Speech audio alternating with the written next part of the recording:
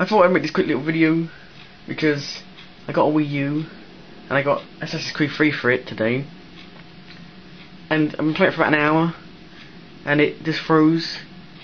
And that's the fourth time the Wii U has frozen for me. And now this has happened.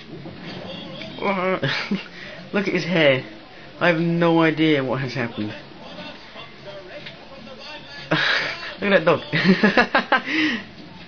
um, I have no idea what has happened. My and my companion has been doing it as well. He got blue hair.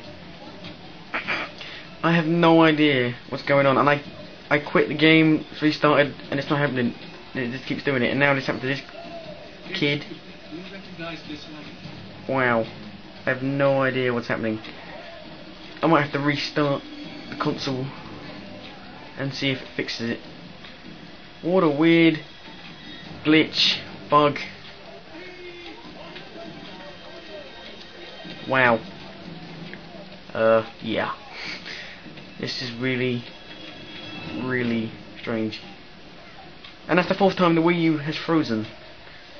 I don't know what's wrong with it, but it's frozen a lot already. So, I don't know.